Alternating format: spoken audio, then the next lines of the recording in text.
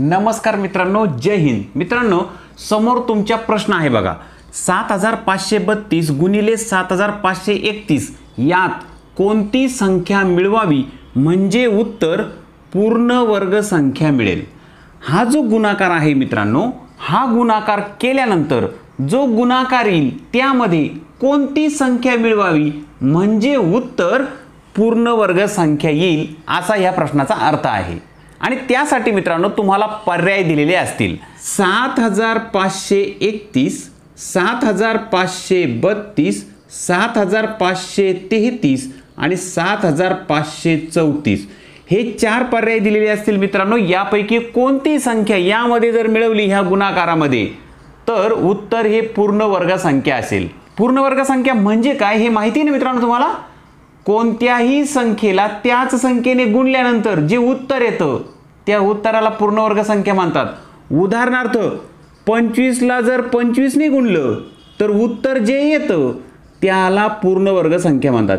पंचवीसला पंचवीसने गुणलं उत्तर काय आलं? सहाशे पंचवीस. याला म्हणतात पूर्णवर्ग संख्या. सहाशे पंचवीस ही पूर्ण वर्गसंख्या आहे ज्याला इंग्लिशमध्ये परफेक्ट स्क्वेअर सुद्धा म्हणतात.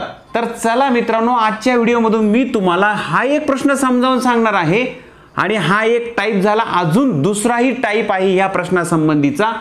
दोनही टाईप मी तुम्हाला या व्हिडिओतून समजावून सांगणार आहे.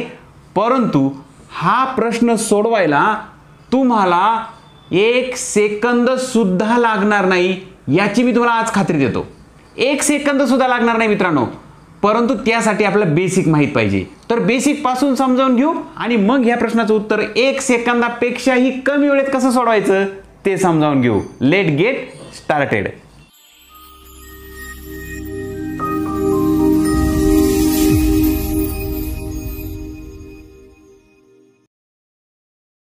सर्वात पहिल्यांदा मित्रांनो बेसिक समजावून घेऊया. हा टाईप पहिला आहे लक्षात राहू द्या. हा टाईप आहे पहिला मी तुम्हाला दोन टाईप समजावून सांगणार आहे. दोन्ही टाईपच्या उदाहरणांची तुम्हाला आता अडचण राहणार नाही. यामध्ये पहिल्यांदा बेसिक समजावून घेऊ. बेसिकमध्ये मित्रांनो तुमच्यासमोर उदाहरण घेतो मी पाच गुणिले सहा. पाच गुणिले सहा याचा गुणाकार किती येतो? याचा गुणाकार येतो तीस. आता मी तुम्हाला प्रश्न असा विचारला की पाच गुणिले सहा या गुणाकारामध्ये कोणती संख्या मिळवावी? म्हणजे उत्तर हे पूर्णवर्ग संख्या असेल. तर तुम्हाला माहिती मित्रांनो याचं उत्तर तीस येतंय की नाही? या तीसला जर पूर्णवर्ग संख्या बनवायचा असेल तर सहा मिळवावे लागतील. म्हणजे छत्तीस उत्तर मिळेल. बरोबर की नाही? छत्तीस ही पूर्णवर्ग संख्या आहे. कारण सहाचा वर्ग आहे ते. सहा गुणिले सहा केले की छत्तीस मिळतात. येत लक्षात मित्रांनो आता? आता बघा प्रश्न काय होता? पाच गुणिले सहा यामध्ये कोणती संख्या मिळवावी? तर तुम्हाला सहा ही संख्या मिळवावी लागली. सहा का मिळवावी लागली? कारण इथं गुणाकाराचा अर्थ जर तुम्ही लक्षात घेतला तर ते तुमच्या चटकन लक्षात येईल. कसं बघा? गुणाकाराचा अर्थ काय इथं? पाच ही पाच गुणिले सहा म्हणजे काय? पाच ही संख्या सहा वेळा घेतली. पाच ही संख्या किती वेळा घेतली? सहा वेळा. पाच ही संख्या सहा वेळा घेतली. पाच पाच पाच तीन वेळा झाला चार वेळा पाच वेळा आणि सहा वेळा. बघा. पाच वे पाच ही संख्या सहा वेळा घेऊन केलेली बेरीज म्हणजेच पाच गुणिले सहा. याचं उत्तर आहे तीस येईल. बरोबर? आता दुसरं या गुणाकाराचा उलट अर्थही करता येतो आपला. पाच ही संख्या सहा वेळा याऐवजी सहा ही संख्या पाच वेळा. बघा सहा किती वेळा? दोन तीन चार पाच. सहा ही संख्या पाच वेळा घेऊन केलेली बेरीज. तरीसुद्धा उत्तर तीसच येईल. आता मित्रांनो लक्षात घ्या. सहा ही संख्या पाच वेळा घेतली की नाही? पण सहा ही संख्या जर सहा वेळा घेतली तर वर्गसंख्या मिळते. कारण सहा गुणिले सहा. बरोबर छत्तीस. बरोबर की नाही? सहा ही संख्या जर सहा वेळा घेतली तर वर्गसंख्या उत्तर मिळतं. पण इथं मात्र तुम्हाला सहा ही संख्या पाचच वेळा दिली ना. म्हणजेच सहा ही संख्या पाच वेळा जर दिली तो जो गुणाकार येईल यामध्ये सहा ही संख्या सहा वेळा घ्यायची होती पाचच वेळा घेतली. अजून एकदा घ्यावी लागेल. येत आहे लक्षात? आणि अशा पद्धतीने मांडणी झाली की याचं उत्तर बरोबर छत्तीस येईल बघा. आलं लक्षात मित्रांनो?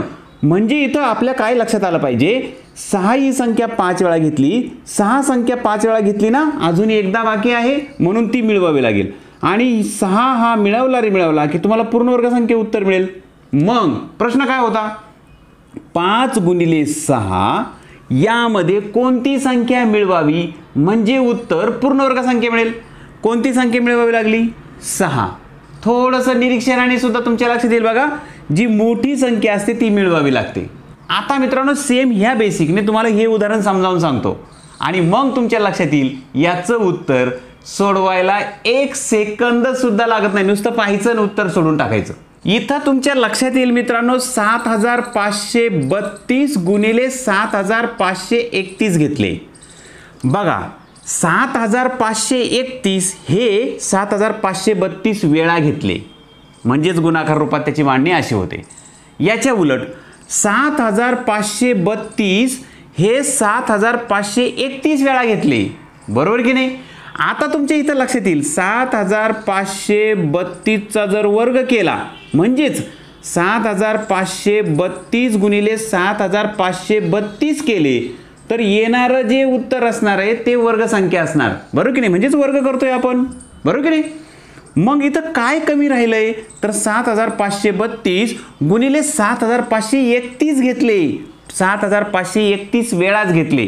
ते सात हजार पाचशे बत्तीस वेळा पाहिजे होते. म्हणजे सात हजार पाचशे बत्तीस हे एकदा घ्यायचे राहून गेले अजून. मग तुमच्या लक्षात येईल मित्रांनो ह्या गुणाकारामध्ये एकदा बाकी ना? कोण बाकी आहे? अधिक सात हजार पाचशे बत्तीस. हे एकदा बाकी आहे. सात हजार पाचशे बत्तीस हे सात हजार पाचशे एकतीस वेळा घेतले एकतीसच वेळा घेतले अजून एकदा बाकी आहे. म्हणून सात हजार पाचशे बत्तीस हे सा अजून एकदा मिळवू त्याच्यामध्ये सात हजार पाचशे बत्तीस त्याच्यात मिळवले. तुमच्या लक्षात आलं? हे मिळवल्याबरोबर तुम्हाला जे उत्तर मिळेल ते पूर्ण वर्ग संख्या असेल. पण ते उत्तर काढायचं नाही आपल्याला. आपल्याला काय विचारलं? कोणती संख्या मिळवावी म्हणजे उत्तर पूर्ण वर्ग संख्या मिळेल? सात हजार पाचशे बत्तीस मिळवावे लागतील. म्हणून पर्याय क्रमांक दोन हे तुमचं उत्तर असणार. तुम्हाला बेसिक काही सांगितलं आणि हे उदाहरण कसं सोडायचं तेही सांगितलं. तुमच्या लक्षात आलं नसेल अजून एक उदाहरण घेतो. काळजी अजिबात करायचं नाही मित्रांनो. अजून एक उदाहरण घेऊ पुन्हा एकदा समजावून घेऊ. पुन्हा तुमच्यासमोर उदाहरण आहे मित्रांनो. बघा पंचेचाळीस हजार सातशे अठ्ठ्याण्णव गुणिले पंचेचाळीस हजार सातशे नव्याण्णव. यात कोणती संख्या मिळवावी म्हणजे उत्तर पूर्णवर्ग संख्या मिळेल? संख्या कोणती मिळवावी लागेल? पंचेचाळीस हजार सातशे अठ्ठ्याण्णव गुणिले पंचेचाळीस हजार सातशे नव्याण्णव. बरोबर? आता या पंचेचाळीस हजार सातशे नव्याण्णव पंचेचाळीस हजार सातशे नव्याण्णव गुणिले पंचेचाळीस हजार सातशे नव्याण्णव जर केले तर तुम्हाला वर्गसंख्या मिळेल. कारण पंचेचाळीस हजार सातशे नव्याण्णवचा वर्ग करतो आहे आपण. त्या संख्येने त्या संख्येला गुणलं की वर्गसंख्या मिळते. मग पंचेचाळीस हजार सातशे नव्याण्णवला पंचेचाळीस हजार सातशे नव्याण्णवने गुणायचं आहे याचाच अर्थ पंचेचाळीस हजार सातशे नव्याण्णव ही संख्या पंचेचाळीस हजार सातशे नव्याण्णव वेळा घ्यायची आणि बेरीज करायची. जे मी तुम्हाला बेसिक्समध्ये समजावून सांगितलं. पंचेचाळीस हजार सातशे नव्याण्णव वेळा घ्यायची आणि बेरीज करायची. पण इथं काय बघा? पंचेचाळीस हजार सातशे नव्याण्णव ही संख्या पंचेचाळीस हजार सातशे नव्याण्णव वेळा न घेता पंचेचाळीस हजार सातशे अठ्ठ्याण्णव वेळा घेतली. असा या गुणाकाराचा अर्थ आहे. म्हणजे एकदा बाकी नव्याण्णव वेळा घ्यायची ना अठ्ठ्याण्णव वेळा घेतली. याचा अर्थ या गुणाकारामध्ये अजून एकदा ती संख्या मिळावी लागेल. पंचेचाळीस हजार सातशे नव्याण्णव ही संख्या मिळवावी लागेल. आणि ही मिळवली की तुम्हाला पूर्णवर्ग संख्या उत्तर मिळेल तोच तुमचा पर्याय असणार मित्रांनो. आता ट्रिक काय मित्रांनो इथं लक्षात घ्या. अशा पद्धतीने संख्या कोणती मिळवावी लागेल? म्हणजे बेरीज करायची इथं. कोणती संख्या मिळवावी लागेल? अशा टाईपचे जर संख्या आल्या तर ज्यामध्ये एकचा फरक असतो बघा इथं अठ्ठ्याण्णव आणि नव्याण्णव. एकचा फरक असला आणि कोणती संख्या मिळवावी असं जर विचारलेलं असलं तर सरळ मित्रांनो डोळे झाकून यातला जो मोठी संख्या असते ती संख्या त्याचं उत्तर असतं. जे तुम्हाला या टाईप एकमध्ये तुमच्या लक्षात आलं असणार. परंतु मित्रांनो यामध्ये टाईप दुसरा सुद्धा येऊ शकतो. कसा? अशा पद्धतीचं गुणाकार देतील आणि यामध्ये कोणती संख्या मिळवावी म्हटलंय तर यातून कोणती संख्या वजा करावी म्हणजे पूर्ण वर्ग संख्या मिळेल असाही प्रश्न असू शकतो. तर तोही प्रश्न समजावून घेऊ मित्रांनो. या व्हिडिओतून तुम्हाला दोन्ही टाईप समजून जातील. तर चला मित्रांनो हा टाईप दुसरा आहे. यामध्ये काय विचारलंय बघा? चार गुणिले पाच यामधून कोणती संख्या वजा करावी? म्हणजे उत्तर पूर्ण वर्ग संख्या मिळेल. उत्तर पूर्ण वर्ग संख्याच आलं पाहिजे. पण दिलेल्या गुणाकारातून कोणती संख्या वजा करावी लागेल? तेव्हा पूर्ण वर्ग संख्या मिळेल. तुम्ही पटकन सांगणार. कारण मी छोटी संख्या घेतली. आणि पहिल्यांदा मित्रांनो तुमच्या लक्षात यावं म्हणून मी मुद्दाम अशी छोटी संख्या घेतली. त्याचे पर्याय दिले बघा. चार पाच सहा सात. तर आता चार गुणिले पाच यामधून कोणती संख्या वजा केली तर पूर्णवर्ग संख्या मिळेल? इथं वजा करायची मिळवायची नाही. मिळवायची जर असती तर मोठी संख्या हे त्याचं उत्तर असतं. बरोबर? ते आपण आत्ताच पाहिलंय. परंतु इथं बघा मित्रांनो आता या गुणाकाराचा अर्थ काय? चार ही संख्या पाच वेळा घेतलेली आहे. बरोबर की नाही? चार ही संख्या किती वेळा घेतली? पाच वेळा. परंतु चार ही संख्या चारच वेळा जर घेतली तर चारचा वर्ग बनतो आणि सोळा मिळतात. पूर्ण वर्ग संख्या मिळते की नाही? पण त्यासाठी चार ही संख्या चारच वेळा घ्यावं लागेल. इथं मात्र पाच वेळा घेतली. म्हणजेच चार ही संख्या इथं पाच वेळा घेतली ना तर एकदा काढून टाकावी लागेल. एकदा काढून टाका. चार ही संख्या पाच वेळा घेतली एकदा काढून टाका. तेव्हा तुम्हाला आपोआप सोळा उत्तर मिळेल. येत आहे लक्षात मित्रांनो? आता इथं तुमच्या लक्षात आलं असेल ट्रिक तर तुमच्या झटकन लक्षात आली असणार इथं. काय? का अशा वेळी उत्तरामध्ये लहान संख्या हे त्याचं उत्तर असतं. बघा चार वाजा करावं लागतात बरोबर सोळा मिळतात. तर मित्रांनो हे जर तुम्ही एकदा समजावून घेतलं ना तर तुम्हाला फक्त संख्या पाहिल्याबरोबर उत्तर मिळेल. वजा करायची म्हटलं की चार उत्तर असणार मिळवायची म्हटलं की पाच उत्तर असणार. बरोबर की नाही? पण मित्रांनो मी तुम्हाला सांगितलं होतं की हा प्रश्न सोडवायला तुम्हाला एक सेकंद सुद्धा वेळ लागणार नाही. परंतु ही काय ट्रिक नाही मित्रांनो हे तुम्हाला समजावून दिलं. बेसिक लक्षात आलं पाहिजे पहिल्यांदा. एकदा बेसिक लक्षात आलं रे आलं की हा प्रश्न वेगळ्या टाईपने जरी विचारला तरी अडचण येत नाही. पण ह्या व्हिडिओत मी तुम्हाला दोन टाईप समजावून सांगितले. तर चला मित्रांनो आता आपण प्रत्यक्ष काही मोठी उदाहरणं घेऊया. पुन्हा एकदा सराव करूया. तुमच्यासमोर फक्त मी संख्या बदलली मित्रांनो कारण प्रश्न तोच राहणार आहे. चारशे त्रेपन्न गुणले चारशे चौपन्न यामधून कोणती संख्या वजा करावी म्हणजे उत्तर पूर्णवर्ग संख्या बघा मित्रांनो चारशे त्रेपन्न गुणिले चारशे चोपन्न याचा अर्थ काय?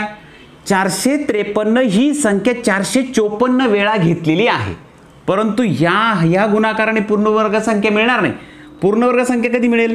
चारशे त्रेपन्नला जर चारशे त्रेपन्नने गुणलं तर. बरोबर ना? म्हणजे चारशे त्रेपन्नचा वर्ग होईल. तो वर्ग काढत बसायचं नाही इथं. फक्त आपल्याला इथं समजावून घ्यायचं आहे चारशे त्रेपन्न ही संख्या चारशे त्रेपन्न वेळा घेतली तर पूर्णवर्ग संख्या मिळेल. चारशे त्रेपन्न ही मात्र चारशे चोपन्न वेळा घेतली. म्हणून एकदा वजा करून टाकू. चारशे त्रेपन्न वजा करून टाकू. एकदा वजा करून टाकू. मग कोणती संख्या वजा केली की पूर्णवर्ग संख्या मिळेल? तर चारशे त्रेपन्न ही वजा करावं लागेल.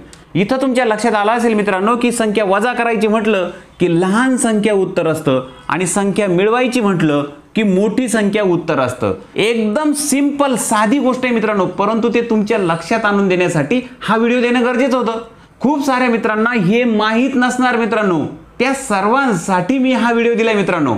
आता मित्रांनो तुम्हाला एकदा बेसिक लक्षात आलं ना की प्रश्न कसा येऊ द्या? समजा इथं ही संख्या न देता इथं असं जर दिलं ना दोन संख्यांमधील फरक एक आहे. इथं बघा दोन संख्यांमधला फरक किती आहे? एक.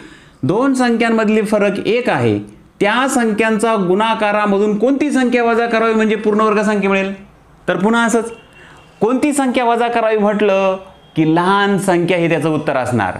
आणि कोणती संख्या मिळवावी म्हटलं की मोठी संख्या हे त्याचं उत्तर असणार. तर आलं लक्षात मित्रांनो या टाईपची स्वतः उदाहरणं घ्या सराव करा. सरावाची जास्त गरज पडणार नाही मित्रांनो फक्त तुमच्या हे बेसिक लक्षात आलं पाहिजे की कोणती संख्या वजा करावी लागते कोणती संख्या मिळवावी लागते. मिळवायची म्हटलं की मोठी संख्या मिळवावी लागते आणि वजा करायची म्हटली की लहान संख्या वजा करावी लागते.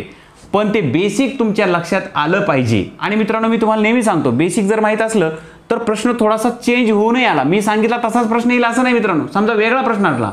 पण बेसिक जर माहीत असलं तर आपण मित्रांनो त्याचं उत्तर सुद्धा आपल्याला माहीत असलेल्या बेसिकमुळं सहज सोडवू शकतो. तर चला मित्रांनो आजचा व्हिडिओ तुम्हाला कसा वाटला नक्की कळवायचा आहे तुम्ही. आणि व्हिडिओ जर आवडला असेल तर आपल्या व्हिडिओला लाईक करायला विसरायचं नाही मित्रांनो. खूप सारे मित्र आहे जे आपला व्हिडिओ पाहतात पण लाईक करायचं विसरून जाता. चॅनल सबस्क्राईब करायचं सुद्धा विसरून जातात मित्रांनो. कारण मी पाहतो ना आपल्या चॅनलवर जे व्हिडिओ पाहणारे मित्र आहे ते सर्वात जास्त नॉन सबस्क्रायबर आहे. म्हणजे ज्यांनी सबस्क्राईब केलं नाही असे सर्वात जास्त व्हिडिओ पाहत आहे. तर मित्रांनो तुम्हाला विनंती आहे की ज्यांनीही आपला व्हिडिओ पाहिला आहे आपल्या व्हिडिओला लाईक केलंय त्यांना आपला व्हिडिओ आवडला आहे त्या सर्वांनी आपला चॅनल सबस्क्राईब करायला विसरायचं नाही मित्रांनो. आणि अशा व्हिडिओंची जर तुमच्या मित्राला गरज असेल तर नेहमीप्रमाणे मित्रांनो तुमच्या पाच मित्रांना आपला हा व्हिडिओ शेअर करायला विसरू नका. काल परवा तर एका मित्राने सरळ फोन करूनच सांगितलं सर तुम्ही डिजिटल बोर्ड घेऊन शिकवा. इथं माझं म्हणणं असं आहे मित्रांनो डिजिटल बोर्डवर शिकवणं काय ना असं शिकवणं काय? समजणं जास्त महत्त्वाचं आहे की नाही? तुम्हाला समजतंय तुमच्या लक्षात येतंय हे जास्त महत्त्वाचं आहे. डिजिटल बोर्ड घ्यायचा नाही घ्यायचा ही खूप पुढची गोष्ट आहे मित्रांनो आणि योग्य वेळ आल्यानंतर आपण ते सुद्धा करू. परंतु आपल्याला या ठिकाणी सर्वात महत्त्वाची गोष्ट आहे ती म्हणजे तुम्हाला गणित सोपं वाटलं पाहिजे गणिताची भीती वाटायला नको. एकदम व्यवस्थितपणे तुम्हाला गणित समजणं गरजेचं आहे मित्रांनो. आणि तोच तो प्रयत्न मी आपल्या चॅनलवरून करतोय. आपल्या चॅनलचा उद्देशच आहे मित्रांनो गणित कसं सोपं होईल हे समजावून सांगणं. गणितातल्या बेसिक ज्या कन्सेप्ट असतात त्या सर्व तुम्हाला व्यवस्थित समजणं. खूप साऱ्या मित्रांचा हा प्रॉब्लेम असतो मित्रांनो की त्यांना गणितातलं बेसिक माहीत नसतं. आणि म्हणून गणितामध्ये ते अडखळतात. तर मित्रांनो आपल्या चॅनलवर गणित एकदम सोप्या पद्धतीने समजावून सांगितलं जातं. त्यामुळे आपल्या चॅनलला सपोर्ट करायचा आणि सपोर्ट करण्यासाठी आपल्या चॅनलला सबस्क्राईब करायला विसरायचं नाही. लाईक शेअर सबस्क्राईब नक्की करा मित्रांनो. गणितासंबंधी अशाच महत्त्वाच्या व्हिडिओमध्ये पुन्हा एकदा तुमच्या व्हिडिओ येईल. तोपर्यंत बाय बाय जय हिंद.